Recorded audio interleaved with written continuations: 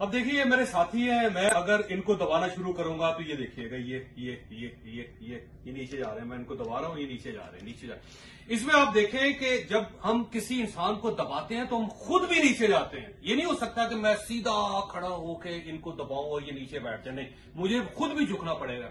और इसी तरह अगर मैं इनको उठाऊँगा तो ये उठ रहे हैं और मैं भी इसके साथ उठ रहा हूँ। जितना ज़ोर हम दूसरे लोगों को दबाने में लगा देते हैं और उससे होता क्या है कि सिर्फ़ वो नहीं दबते, हम भी दबते हैं उनके साथ, हम भी नीचे जाते हैं।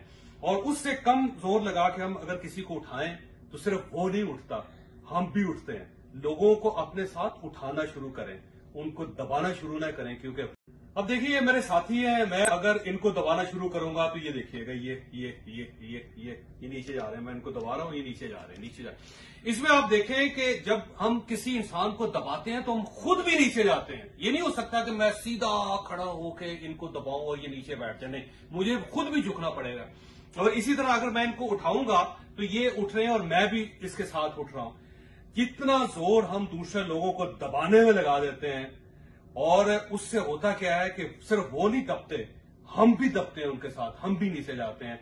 और उससे कम ज़ोर लगा के हम अगर किसी को उठाएँ तो सिर्फ़ वो नहीं उठता, हम भी उठते हैं। लोगों को अपने साथ उठाना शुरू करें, उनको दबाना शुरू ना करें, क्योंकि